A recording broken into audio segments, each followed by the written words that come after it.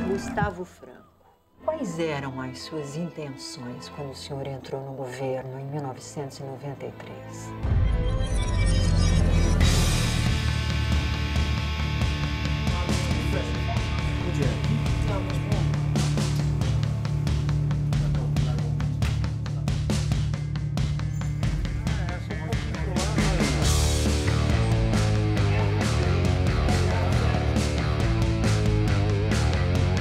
Democracia com menos de 10 anos, que nem o Brasil, alguém dá um peteleca aí, daqui a pouco derruba tudo, igual um castelo de areia.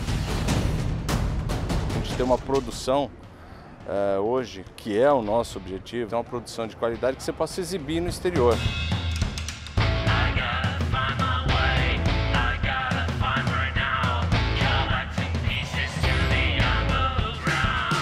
É uma história que até hoje é atual, um fato ocorrido há mais de 20 anos atrás né, e que continua ocupando as discussões políticas e econômicas do país uh, até hoje. Preços e salários por URV. Todo mundo vai querer converter para uma nova moeda. O real é a moeda do povo.